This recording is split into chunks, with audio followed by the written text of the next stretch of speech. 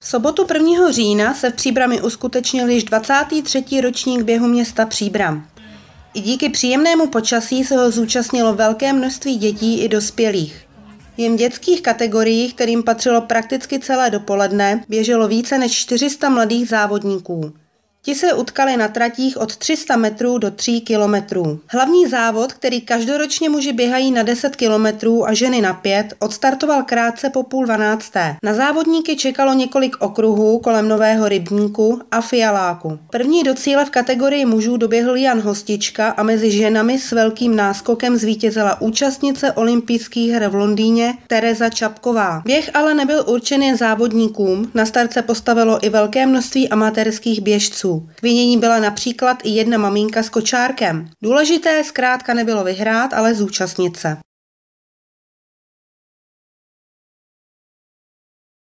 Tento víkend se na Příbramsku konal již 37. ročník Rally Příbram. Ten se do našeho regionu vrátil po roční pauze, kdy se závody nekonaly, protože se pořadatelům nepodařilo zajistit dostatek finančních prostředků na jejich pořádání. Vítězem letošního ročníku se stal Jan Dohnal se spolujezdcem Michalem Ernstem ve voze Ford Focus RS VRC.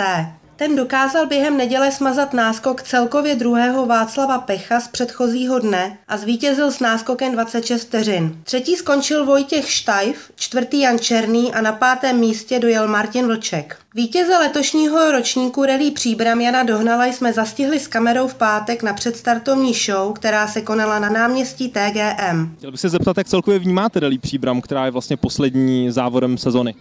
Tak pro mě je to téměř kultovní závod, je to jediný závod, kde jsem eh, od roku 2005 pravidelně startoval a s celým naším týmem. Mám k němu eh, vztah, eh, pracuji tady v Příbrami, před čtyřma lety jsem se sem přestěhoval z Prahy a vnímám to jako svoji domácí soutěž. Máme tady nějaký pěkný výsledky za sebou a zatím se nám tady dařívalo, tak doufám, že to bude letos pokračovat. Chtěl bych se zeptat, která z těch rychlostních zkoušek je vaše nejoblíbenější a proč? Tak určitě to bude rychlostní zkouška, která startuje z Bohosticích a končí v Milíně.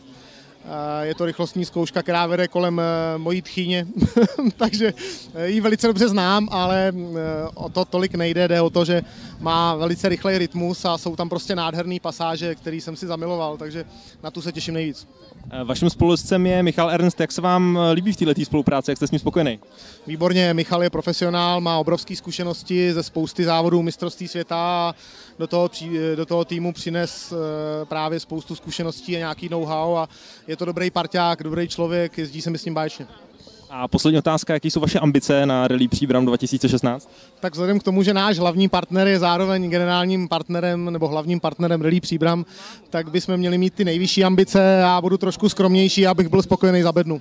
V sobotní etapě královal Václav Pech, jehož Porsche dokázalo být na RZ zdaleka nejrychlejší. Na druhého dohnala měl po prvním dni náskok 13 vteřin. Ten ještě dokázal navýšit během nedělního rána. Vše se ale změnilo, když se na asfalt rychlostních zkoušek snesl déšť. Ten naopak Pechovi příliš nesvědčil a začal ztrácet. Do čela závodu se dohnal se svým VRC speciálem dostal v předposlední etapě. Poslední už jen zvýšil svůj náskok na konečných 26 vteřin.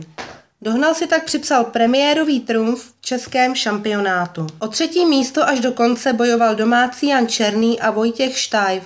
I když měl Černý po sobotě lepší pozici, Štajf ho dokázal nakonec během nedělního dopoledne předjet a souboj pilotů vozů Škoda Fabia R5 vyhrál s náskokem 21 vteřin. Černý ale nemusí být vůbec zklamaný, protože i tak se udržel na druhém místě konečného hodnocení. Štajf se posunul na třetí místo před Pavla Valouška, který v příbrami nestartoval. Na startu se vůbec neobjevil ani již jistý šampion Jan Kopecký. Mnoho jezdců si stěžovalo na příliš rychlé tratě, ve kterých nebylo dostatek technických pasáží.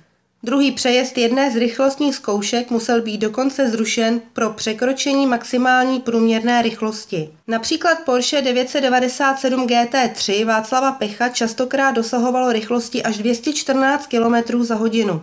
Většina jezdců se také shodla na tom, že nedělní rychlostní zkoušky byly výrazně techničtější a zábavnější.